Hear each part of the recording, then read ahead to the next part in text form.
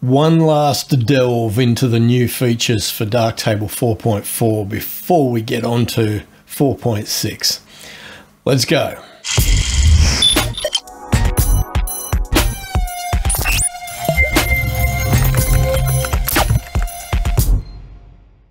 Hi, and welcome to episode 134 of Understanding Darktable. I hope you had a Merry Christmas. We're now in the one week of no man's land in between Christmas and New Year. And although 4.6 is out, and I am running 4.6 on my system right now, uh, there is just one last video that I want to do, and that's this one uh, with just a couple more things that were new features or updates and tweaks in version 4.4. And the first of those is the histogram buttons. Now, if we dive into an image here, you will notice that there are now two sets of buttons in the histogram.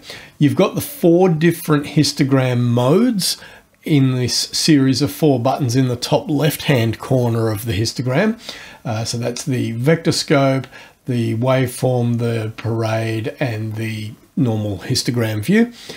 And then you've got buttons on the right hand side which change depending on which of those four histogram modes you're in. So if you go to vector scope, you've got set view to AZBZ and the linear logarithmic toggle. If we go to the waveform view, we've got the set scope to vertical toggle and then the three color channels. If we go to the RGB parade, we've just got the set it to vertical switch. And then if we go back to the histogram, you've got the linear logarithmic toggle and then the three color channels. So that's the changes to the histogram. Next up, the snapshots module has had a little bit of a tweak. In the release notes, it says snapshots are no longer invalidated when the history is compressed or reset. All snapshots are now stored with their full history and can always be correctly reconstructed. Now, just for those of you who are new to Darktable, sadly, Darktable doesn't do snapshots the way most likely the Adobe product that you've just departed from used to do it. Unfortunately, what Darktable does with snapshots is simply create a bitmap screen capture of the state of the image at that moment in time. But it doesn't allow you, should you have then made subsequent changes to the image and then decide, oh, I want to go back to that snapshot, it doesn't let you do that. All it is doing is showing you what the image looked like at that moment in time, but it doesn't let you go back to that moment in time.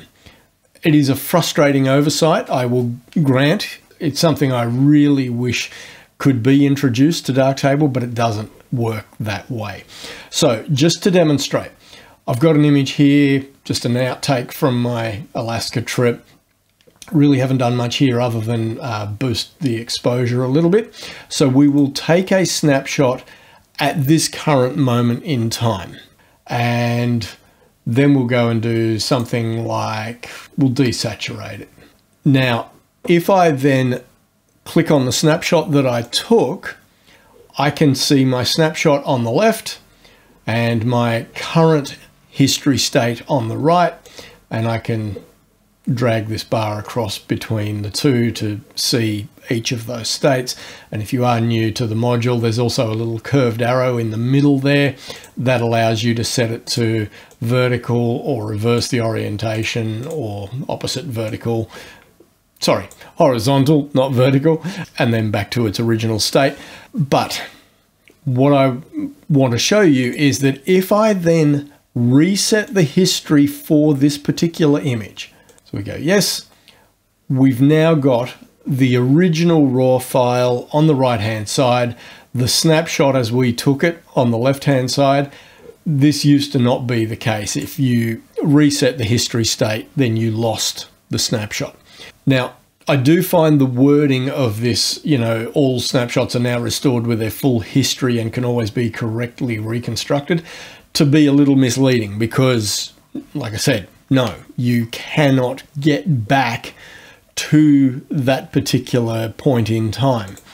Uh, unless something has been changed that I'm unaware of, but to the best of my knowledge, all this does is let you see the state as it was at that moment in time, but not to actually get back to it.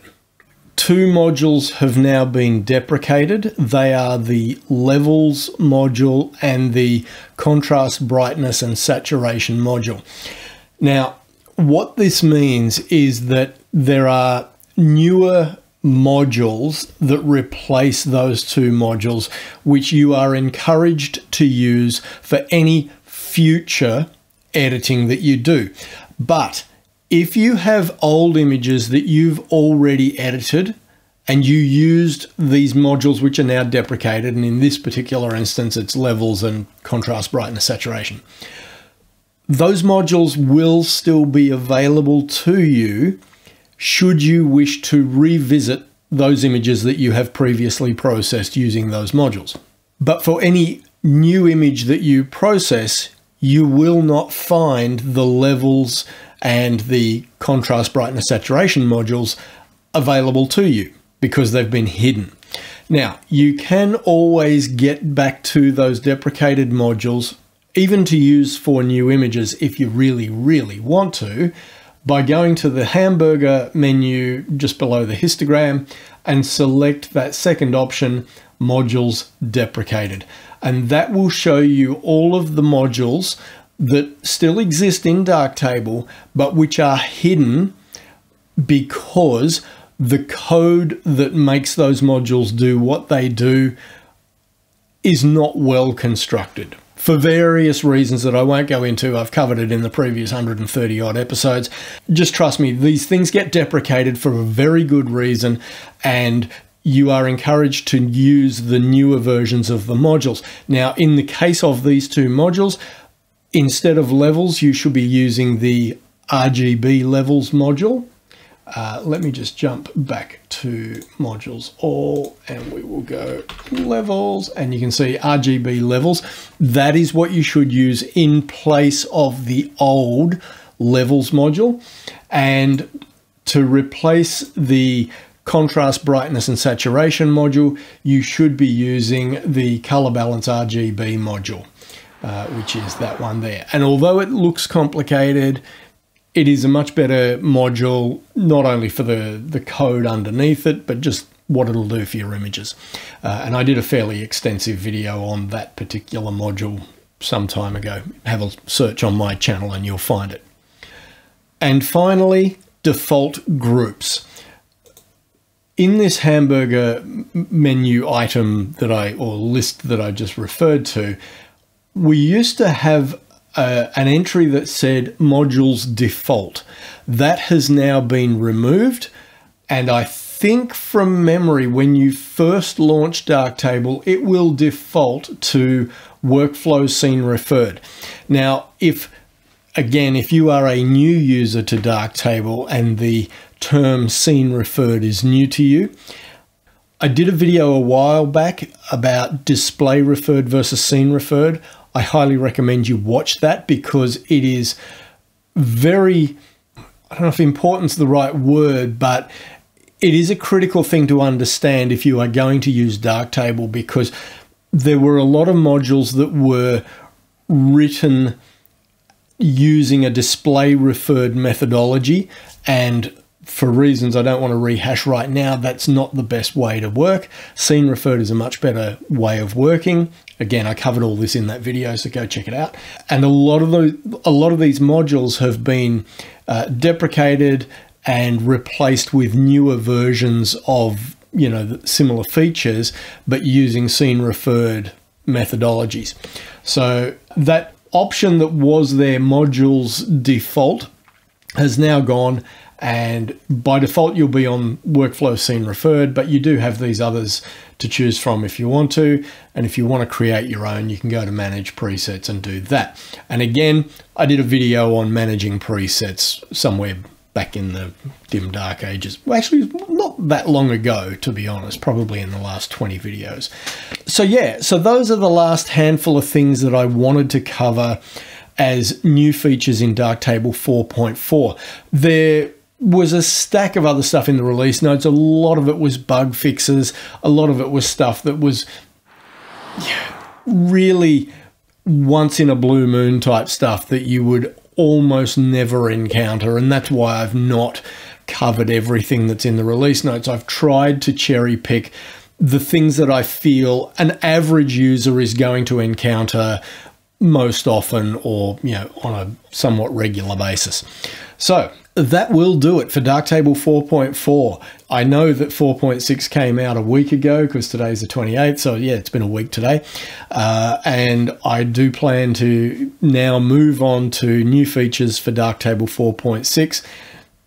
Normally, I'd already have those videos out, but you know that this year has just been a crazy mess for me. So we will get there by the time 4.8 comes out in June of 2024, I will be back up to speed and chomping at the bit, and the new features video will drop pretty much the same day the software does.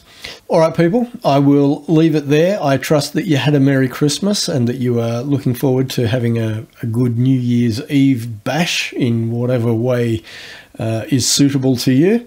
Kath and I are just going to go and watch some fireworks locally and I I really want to make it a a bit of a mission for myself in 2024 to try and organize some more shoots with models, uh, come up with some themes, and get out and shoot a bit more often, if for no other reason, just so I've got some new images to feature in these videos so that, you know, as I go forward, I'm not constantly you know, going back to stuff that I shot two years ago or five years ago or 10 years ago.